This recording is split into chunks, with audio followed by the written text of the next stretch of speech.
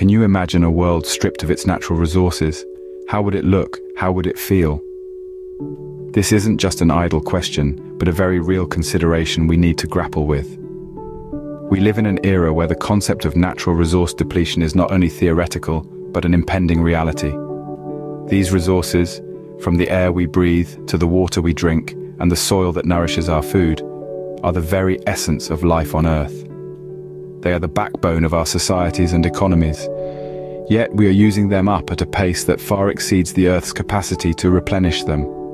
If we continue on this path, we risk not only the health of our planet, but also the survival of future generations. The stark reality is this. The Earth's resources are not infinite, and their overuse could lead to dire consequences. To understand the gravity of the situation, consider these startling facts and figures. Every minute, we lose an equivalent of 27 soccer fields of forest to deforestation. That's about 78 million acres of forest each year.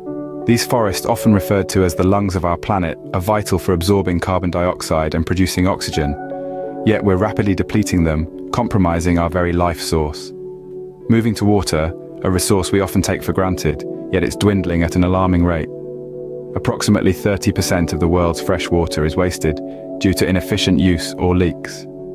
That's equivalent to losing over 125 trillion litres of water annually, a volume that could fill over 50 million Olympic swimming pools. Then, let's talk about fossil fuels. Every day, the world consumes about 95 million barrels of oil, these fossil fuels have taken millions of years to form, and we're burning through them at a pace that's simply unsustainable. And it's not just oil we're rapidly consuming. Each year, we extract around 7 billion tons of coal, and this number is steadily increasing. Our planet's biodiversity is also at risk. Current rates of species extinction are estimated to be between 1,000 to 10,000 times higher than the natural extinction rate. This loss of biodiversity threatens not only the beauty of our world, but also the functionality of our ecosystems. Moreover, our excessive consumption of natural resources is driving climate change, with global temperatures projected to rise by up to 4 degrees Celsius by the end of the century if we continue on our current path. These are just some of the numbers that represent the repercussions of our actions. They lay bare the magnitude of the crisis we are facing and the urgent need for change. These numbers paint a grim picture of the future if we continue on this path. So what does this mean for our planet? Well, let's delve into that. The environmental impacts of resource depletion are vast and far-reaching. We'll start with climate change. As we burn fossil fuels like coal, oil and natural gas for energy, we release carbon dioxide into the atmosphere. This excess carbon dioxide traps heat, leading to the warming of our planet. This global warming threatens the delicate balance of our ecosystems, leading to more frequent and severe weather events like hurricanes, floods and droughts. But the impacts don't stop there. As temperatures rise, so do sea levels, threatening coastal communities and wildlife habitats. The warmer temperatures also disrupt the habitats of many species, leading to a devastating loss of biodiversity. Species are disappearing at a rate up to thousands of times faster than the natural extinction rate. We're not just talking about the cute and cuddly ones here. We're losing insects, plants and microorganisms that play crucial roles in our ecosystems. Next, let's talk about water scarcity. As we deplete our freshwater resources, we're left with less water for drinking, agriculture and industry. In many parts of the world, people already lack access to clean, safe drinking water. As freshwater resources continue to dwindle, this problem will only get worse. And last but certainly not least, there's soil degradation. As we strip the land of its natural resources, we're also degrading the quality of our soil. This leads to less productive farmland, threatening our ability to grow the food we need to feed our growing population. So, as we can see, the effects of resource depletion are not isolated incidents. They're interconnected, creating a domino effect that threatens the health and survival of our planet. The impact of our actions today will echo for generations to come. Remember, the effects of resource depletion extend far beyond just the resources themselves. It's not just about running out of coal or oil, it's about the broader impacts on our planet and all the life it supports.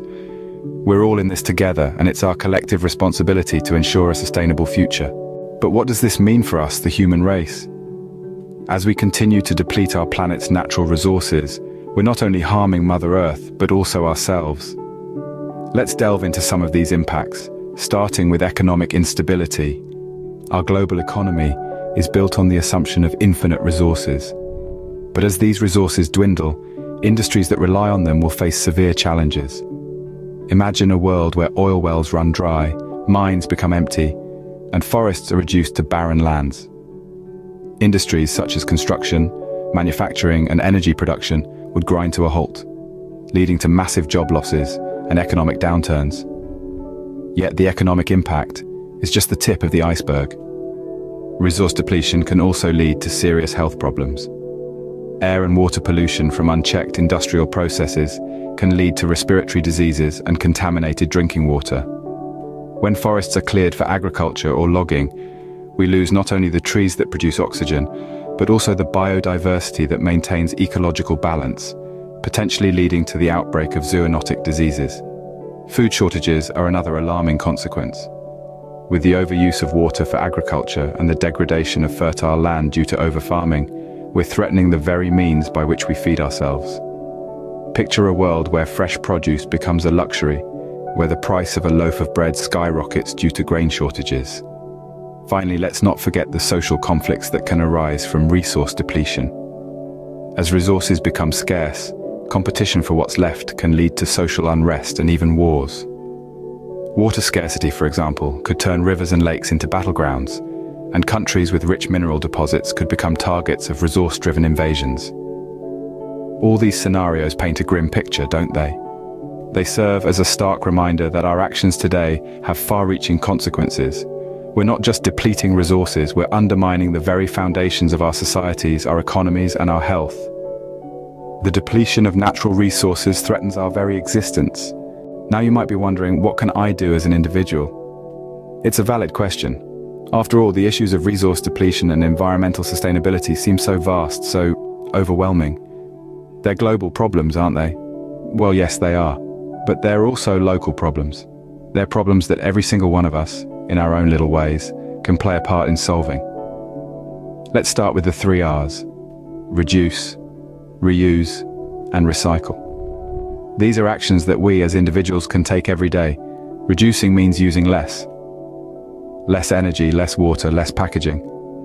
It means turning off lights when you leave a room, choosing products with less packaging, and taking shorter showers. Every drop of water, every watt of power, Every scrap of plastic that we don't use is a tiny victory in the fight against resource depletion. Next is reusing.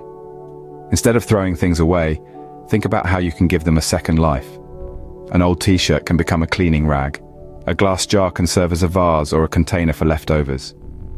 By reusing items, we extend their life cycle and decrease the demand for new products. Recycling is the third R.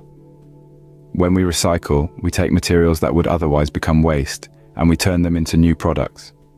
This saves resources and reduces the amount of waste that ends up in our landfills. But beyond the three R's, there's also the power of choice. We can choose to support companies that are environmentally responsible. We can choose to eat less meat, which has a high environmental impact. We can choose to walk or cycle instead of driving, when possible. Our choices, big and small, have a ripple effect. They send a message to businesses, to policymakers, and to the world that we care about our planet and its resources. So what can you do as an individual? A lot, actually. You have the power to make a difference, to change habits, to influence others, and to help our planet.